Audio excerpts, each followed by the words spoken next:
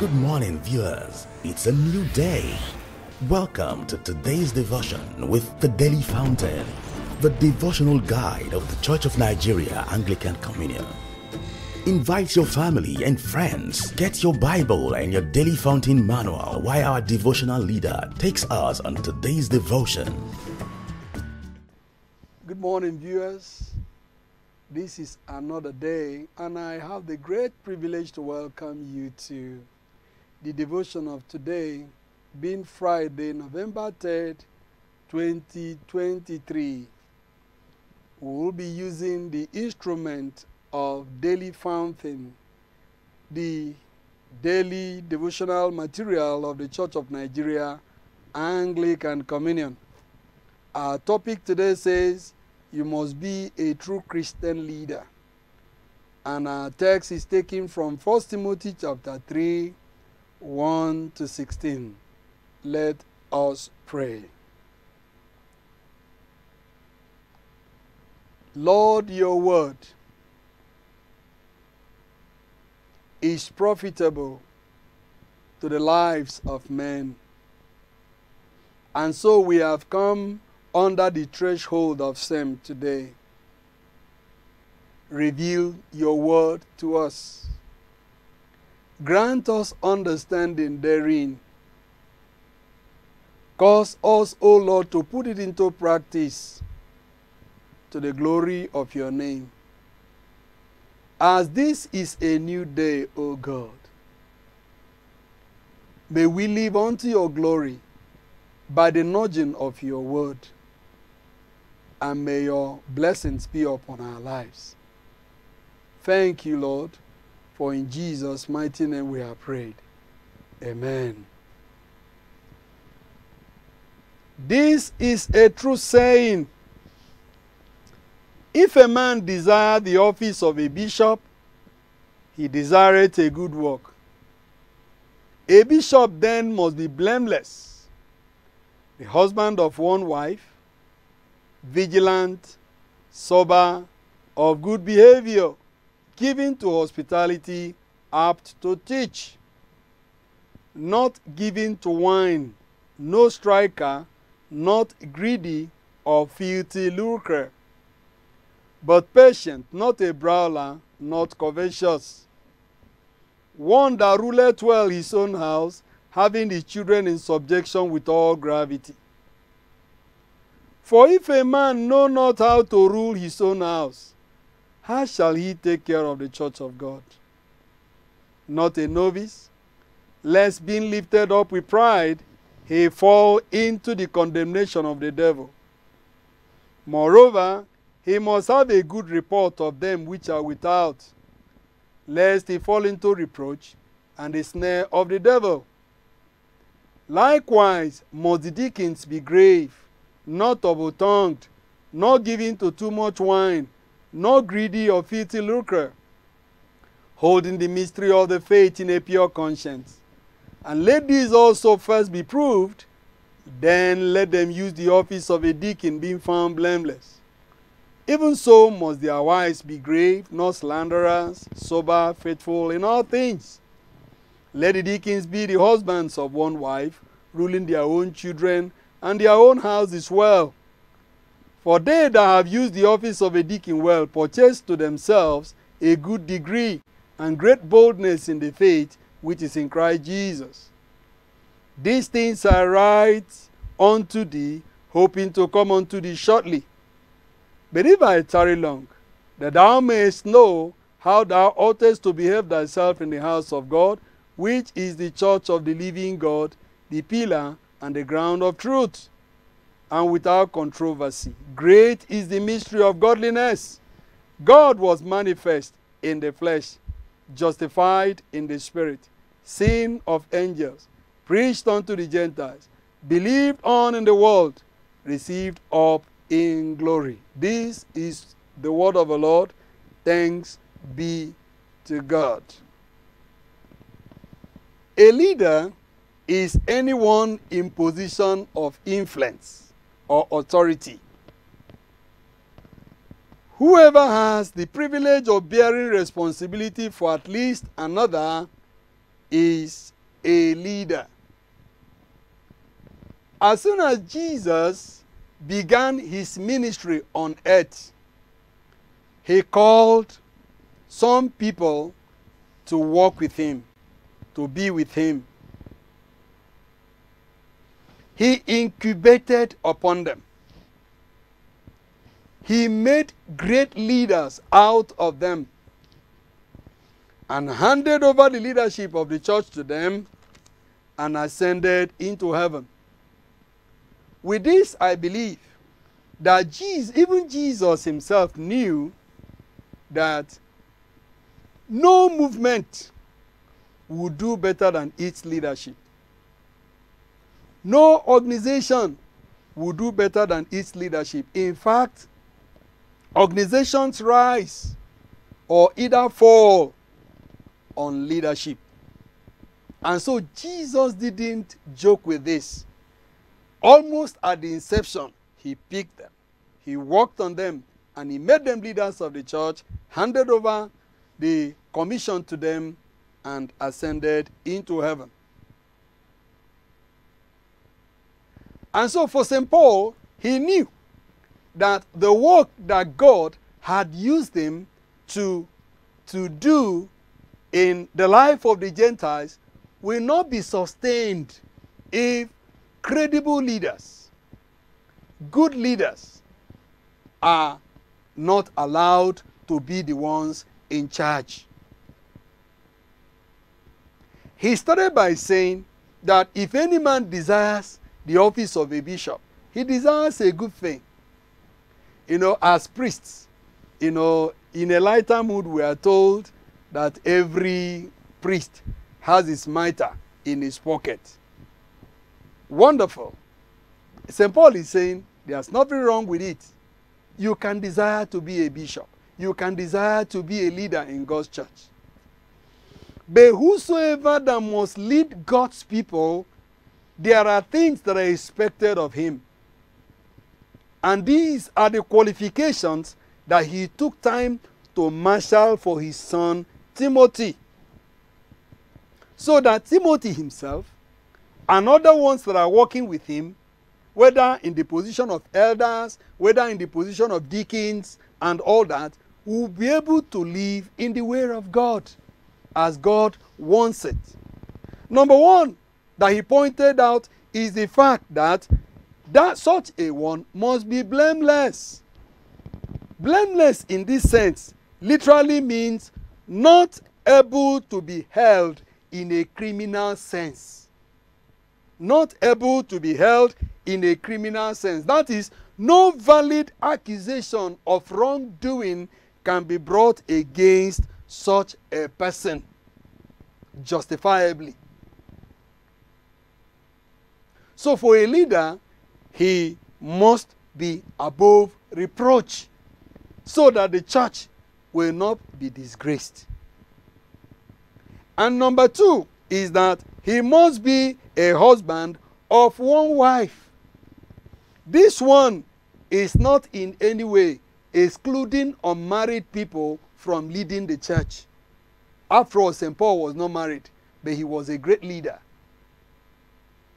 But this one has to do with the leader's moral and sexual purity.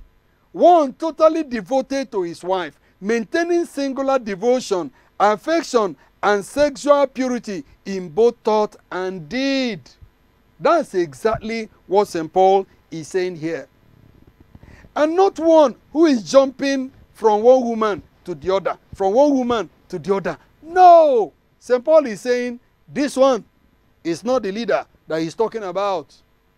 And to violate this is to forfeit blamelessness and no longer above reproach. He must be a sober personality. Sobriety in this sense is metaphorically used to mean alert, to mean watchful, and to mean clear headed.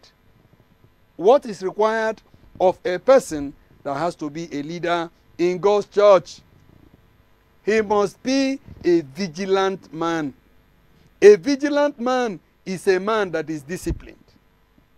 A vigilant man is a man that knows how to order his priorities. A vigilant man is a man that is serious about spiritual matters. And that's why the Bible says, be sober, be vigilant, because your enemy moves around like a roaring lion, seeking whom he may devour. Meaning, if these qualities are lacking in a leader, he is likely to be subjected to the, to the capture of the devil, and the church will be disgraced. And he must be of good behavior. He must not be someone that leads chaotic life. In fact, any Christian leader that cannot order his own life cannot order the church. As a Christian leader, eyes are on you. Whether you like it or not, you are making disciples towards your own lifestyle. And St. Paul is saying here, such a person must be of good behavior. Because if that a person is not of good behavior, his chaotic life will affect the church. And it must be somebody that is given to hospitality. The church is like a hospital where the sick is nurtured to standing on their feet again. And so, such a person must have love for strangers. Such a person must be open to accommodate and help others grow in faith. He must be able to help. He must be someone who has the heart to help when he can help, when he has the resources to help, whether physical, material, or spiritual resources. Such a person must be apt to teach, able to teach, and ready to teach. Able to teach and ready to teach. The bane of what we call denominations in our time is that a Christian leader mounts the podium, cannot explain what the Bible is saying in a particular verse. That's an aberration. Such a person must be, must be able to teach and be ready to teach God's word, the sound doctrine, the sound word of God without corruption. And such a person must not be given to wine. This one is, is very, very important. If you look at Ephesians chapter 5, verse 18, St. Paul says, Do not be drunk with wine, but be filled with the Holy Spirit. And I began to ask myself, why was he making something that looks like a comparison be, be, be, you know, between the two? And I can tell you why. Two of them, when they come upon a man, they make the man behave outside of himself. For example, when the Spirit of God came upon Saul, who was to become the king of Israel, he joined the prophets. He prophesied that even people around were saying, Ah, is Saul now among the prophets? When Noah, when Noah saw wine and drank it and got to a point of drunkenness, eh, he became naked. The only thing that came out of his mouth was curse against one of his sons. So a Christian leader must be one who is not beclouded by the spirit of wine. He must be someone with a sound minded judgment, not beclouded by alcohol. And this is more than a mere prohibition against drunkenness. But a Christian leader must not have a reputation as a drinker. That's exactly what St. Paul is saying here. And such a person must not be a striker, somebody who is physically violent. Any small thing, he pulls his shirt and he begins to fight. He must not be a giver of blows. He must be someone who is able to react to difficult situations calmly and gently. So if you see a Christian leader that beats up his wife, then that person is a Christian leader with a question mark on his, Christ, on his leadership ability. I confronted one. He said eh, that he only flogs his wife because the Bible says, um, spare the rod and spoil the child. And two, we were two. There was another senior Christian who was there. And he said, So your wife has become a child now. That you need the rod to be able to correct her. A Christian leader. And St. Paul is saying, This is an aberration. Such a person should not lead the church. The next thing is I said such a person should not be greedy. Shall be a greedy person. Somebody who is fond of dishonest gain. Not someone who is a lover of money unnecessarily. Goes around claiming things that are not his own. Any anything you see, you claim out of greed. Anything you see, you lay hands, you claim out of greed. He said, No. If such a spirit is what is in that person, that person is not supposed to be a Christian leader. Why?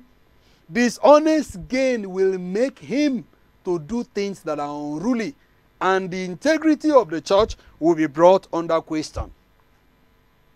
He must be a patient person, not somebody who is quarrelsome, but somebody who is peaceable. Because for the fact that there are more than one person there, you know, you would always find little misunderstanding. What it takes is for is in the spirit of peace, in the spirit of calmness, in the spirit of gentleness, in the spirit of understanding, the leader calling all of us sitting down to get it sorted out. But if such a person is someone who is not patient, things will spoil in his hands. And the, the church will not be better off with it. He must not be a brawler, not quarrelsome. He must be someone who is willing to forgive an offense without bearing a grudge.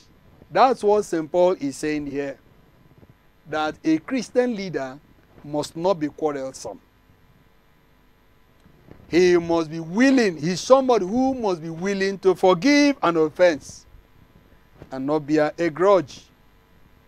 He must not be a, a covetous person. Someone who is moved by greed.